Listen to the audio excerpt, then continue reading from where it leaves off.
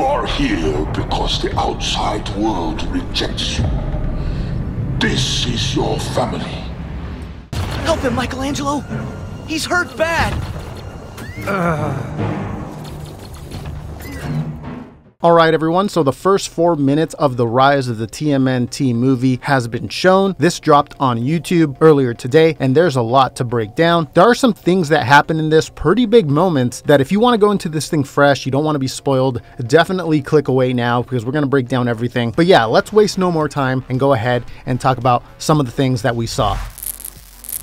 So the clip starts off in New York in the year 2044. We see an injured Leonardo looking down at a picture of his family as he and Casey Jones appear to be running away from some enemies. These enemies look intense. We see some wild demon like dogs approaching. There's also these giant things in the distance that kind of look like the exoskeletons that house the Krang inside of the abdomen, which we saw in the trailer for this movie. Now, there are explosions going off everywhere, aircrafts falling out of the sky, and the city looks desolate decimated. It's an absolute war zone. You see them heading to what looks like their own base, as you see that there's allies of theirs, one being Todd, who is a character from the show, uh, trying to hold down the front line, with some others who appear to have died. Uh, Casey Jones pleads with Leonardo to stay with him and not die, and you see that Leonardo is bleeding, and it looks like his injury is pretty bad. I do believe this is the first time we see blood in Rise of the TMNT, so it does appear that they are pushing the envelope a bit more with this movie. I think that's a good thing. When it comes to the Turtles, I do think when there are stakes like this,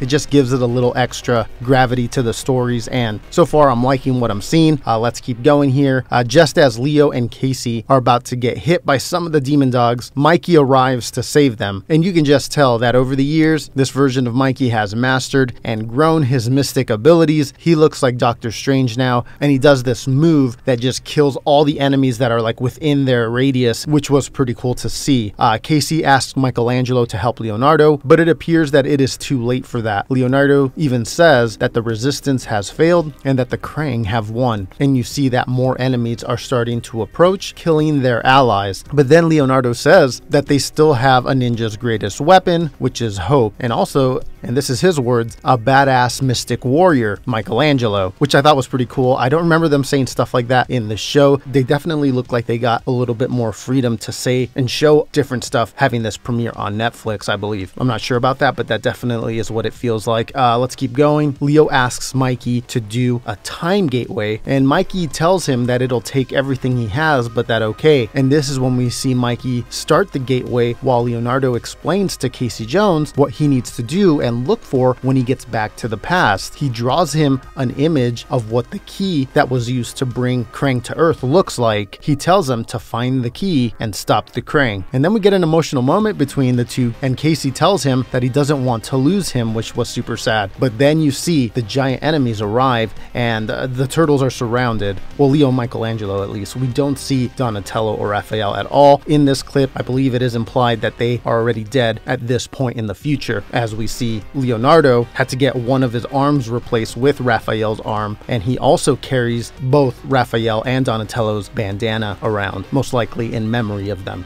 So yeah, they're surrounded and it cuts over to Michelangelo who is opening the time gateway and you can see that his body is starting to crack. You see a look of concern on his face, but he keeps on pushing. Casey sees something is wrong and yells no to Michelangelo who turns around and gives Casey a wink just before he is killed, opening the time gateway. Leo grabs Casey by the shoulder and tells him when he's done saving the world to grab a slice of pizza as he throws Casey into the gateway and we see Casey with tears in his his eyes, looking back as he falls into the time gateway, and we see what he sees Leonardo rushing towards the enemies, fighting them, and then getting killed by a beam that shoots from one of the giant ones. Yeah, this is a cool opening. I'm digging the way this movie is starting off. It flashes to the present, and Casey Jones arrives on the floor in the middle of the city. Casey gets up and begins immediately on his mission and starts running, and he runs over a manhole cover, which then reveals the title of the movie, and we hear a part of the rise of the TMN TMNT show's theme song, which I feel like for fans of the show just brought back some memories that they had back when they were watching it. And then we see something interesting. We see something pull the manhole cover down, and it kind of looks like when Krang takes over the foot soldiers, that creature thing that comes out of them that we saw in the trailer. But anyways, that was everything we saw in the four minutes of the Rise of the TMNT movie that was just released. Let me know what you think down below in the comments. This movie comes out on Netflix in a couple days. I will do a full breakdown review sometime after, so subscribe if you're new if you want to check all that out. Remember to follow on all the social medias. Links are down below in the description, and I will see you guys in a little bit with another video. Take care.